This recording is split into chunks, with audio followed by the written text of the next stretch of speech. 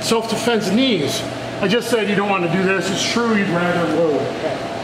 But even if I was this and I wanted to knee him the pillows, I'll knee the chest instead. Even if it was this and I wasn't loaded with a good base, I'm still going to go sharp. Sorry. So it's, it's be sharp. Do more with less. Okay. So uppercut, chin jab, hips. And you're going to push over back to that at the same time. And I do this when I'm pure grappling. Get, get ready for a backfall. So I, I.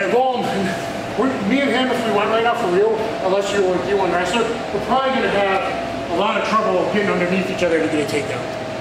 So sometimes I'll play like this, and I'll the guy into uh, full sensitivity. tai Chi works! Did you get that on video? Yes. My man.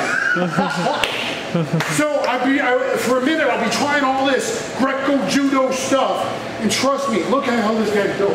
It's probably going to be friggin' hard and take a lot of energy. Oh, I'll whoop, oh, I'll back off. Oh, come on, man. Oh, come on, I don't want to play. I don't want to play. Whoop! Oh. okay, so we're doing the same thing though with here to the chin. I'll give you my hand.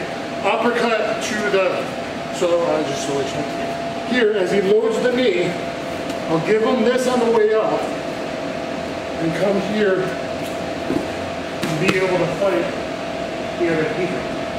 Okay? Two minutes and whatever.